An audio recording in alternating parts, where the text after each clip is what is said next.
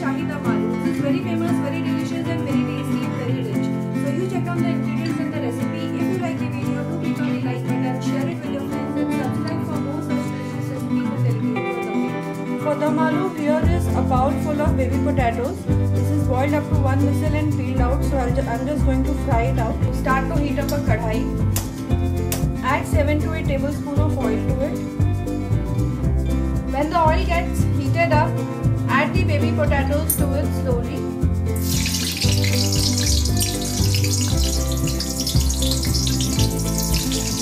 Now just fry it till golden brown in color.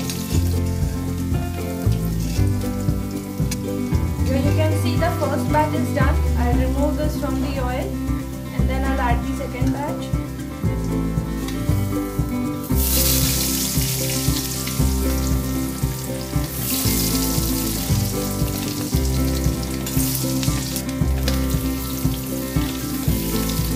Now this batch is also done. After this I'll start to prepare the gravy. Now in a kadhai take around 4 to 5 tablespoon of oil. To the heated oil add around half teaspoon of cumin seeds.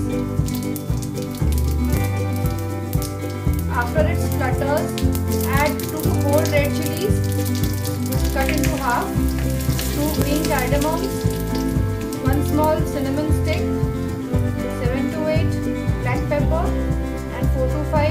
cloves. After the spices are done, add around 1 inch of ginger chopped, 10 to 12 garlic cloves. I'm adding this all whole because all will be grinded. And this is 3 medium sized on onion which I have sliced. So now just cook this. add little bit of salt so that the onion turns brown in color faster. Also add 10 to 12 cashews and cook this with it. This is 3 medium sized tomatoes chopped so add this and again cook this till the tomatoes turn tender and cook completely. Now here I am adding 1 teaspoon of uh, turmeric powder, half teaspoon of garam masala and 1 teaspoon of red chili powder, half teaspoon of cumin powder and half teaspoon of coriander powder this well. Now I'll wait for this masala to get cooled down and then I'll grind it. In a kadhai, I'm using the same kadhai. If you want, you can change it. Add around 2 tablespoons of oil and add the paste. Now cook this till it starts to leave oil from the sides.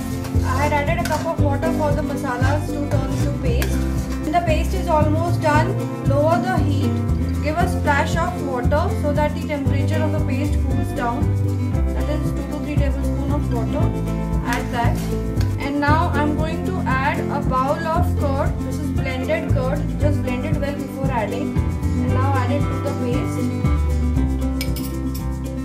And mix it vigorously.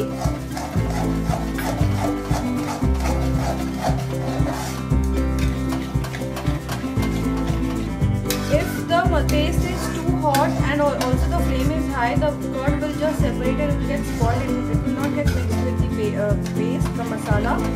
So just drop the temperature and then add the curd.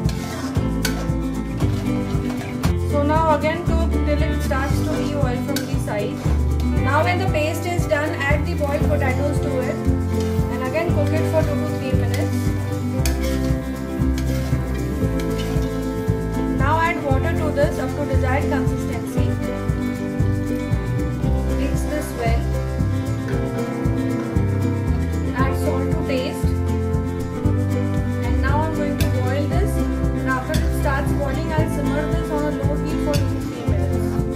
1 tablespoon of kasuri methi. Just rub it between your palms and add it to the gravy. Kasuri methi should be roasted first. Now mix this well. Finally garnish with green coriander leaves, finely chopped. Finally add 2 tablespoon of fresh cream and Shahi Dum is ready to serve.